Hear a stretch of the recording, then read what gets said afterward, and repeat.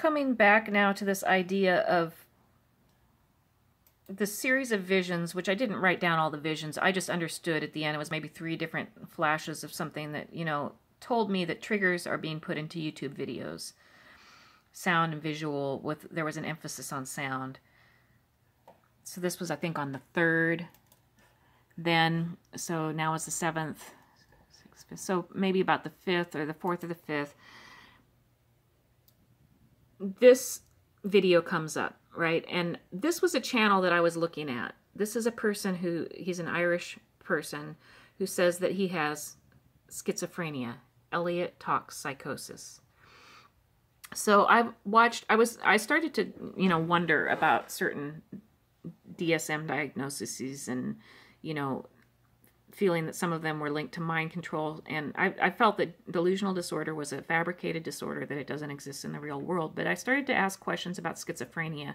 And the reason, main reason why was because I had known a couple people in Minneapolis. And one in particular, you know, um, I spent some time with who said that they were schizophrenic. But I know that that person that I had spent some time with was also now in retrospect i know that this person was involved with this you know this whole system around me. And so then i have to question like who introduced me to him? What was really going on? Was he pretending? Was he really schizophrenic? What was what exactly was going on? So i was asking myself that question and i started running into these accounts online of people who say that they have these you know video blogs of people who say they have certain mental health disorders. And I started looking at this person's videos and seeing what is the experience like of somebody who, you know, hears voices in because they have schizophrenia as opposed to they're getting some kind of military technology beamed at them. Um, and I started to question this person for a lot of reasons. One had to do with his affect um, seeming so normal to me. Another had to do with the biggest thing that really caused me to question was his artwork. Um, because some of his artwork looked surprisingly close to stuff that I had in my journals.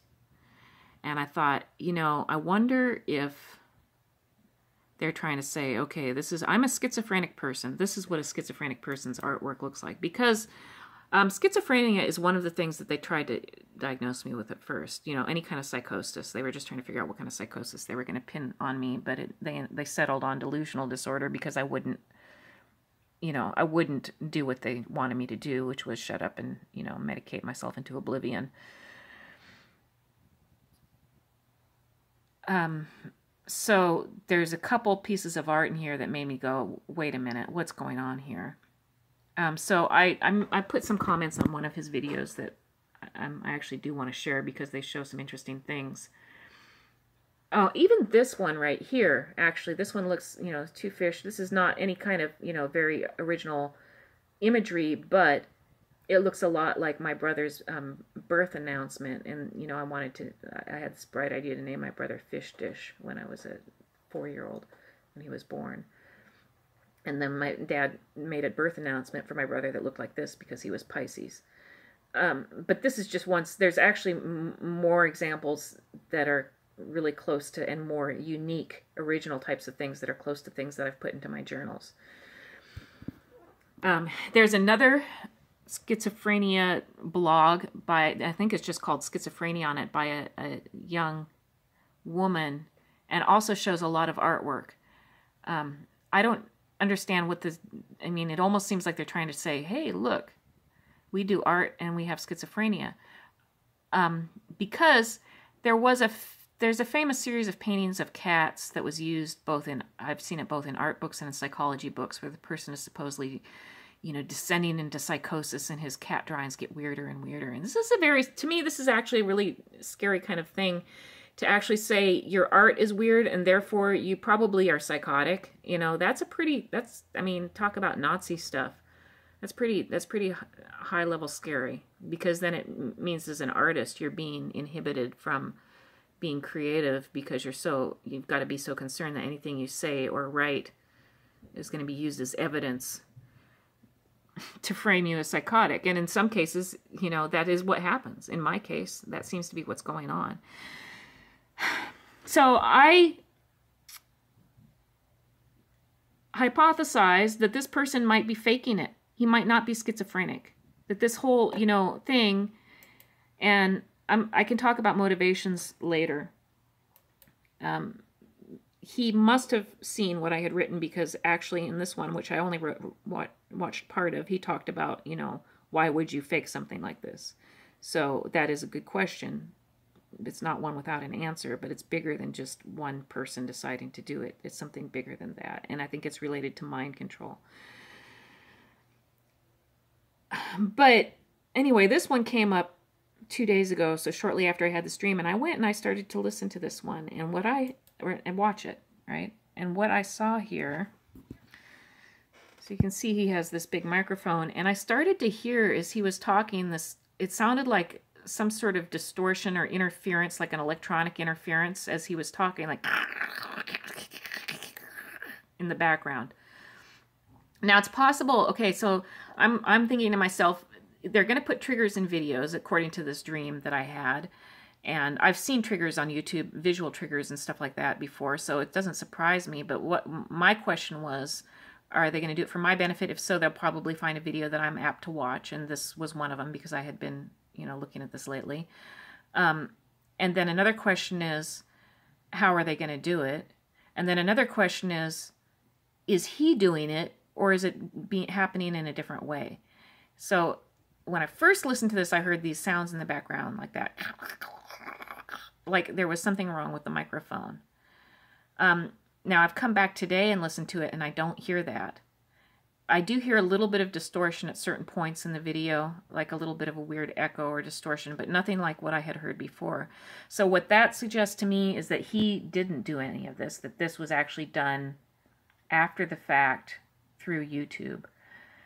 Uh, and I've seen evidence that YouTube has done this in other, I mean, obviousness. So, for example, I'll, I'll pull up a page of thumbnails of videos, and all of a sudden, one thumbnail for just a split second, just long enough for me to see it, flashes to like a scary hollow-eyed doll face and then it goes back to the normal thumbnail just enough to flash and give you like a, a trigger um, that youtube has to have been the one that did that and i think youtube is the one that affected the, the audio on this also um, because it's gone now from what i can tell now it's possible that he also has said things i remember at one point in this video he says two seconds really quick and he doesn't even I don't know why he says it, but you know, it's possible that things like that could be going on too, that he could be deliberately or even being, you know, beamed into, you know, saying or doing something that's triggering.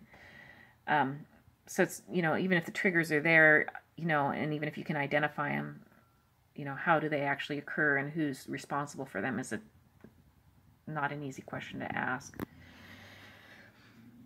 Or and it's not an easy question to answer you can't really leap to conclusions because there's so many different ways to do things. And in fact, you know, when I saw the flash vision of a triggering image, maybe YouTube didn't do that. Maybe that was actually done through somebody who has access to YouTube but wasn't actually working on behalf of YouTube. I mean, possibly it could have been just been done locally on my computer, although I doubt that. It looks like something that was done through the database. Now here's another video where I think it's linked to mind control. Um, she just calls herself schizophrenic.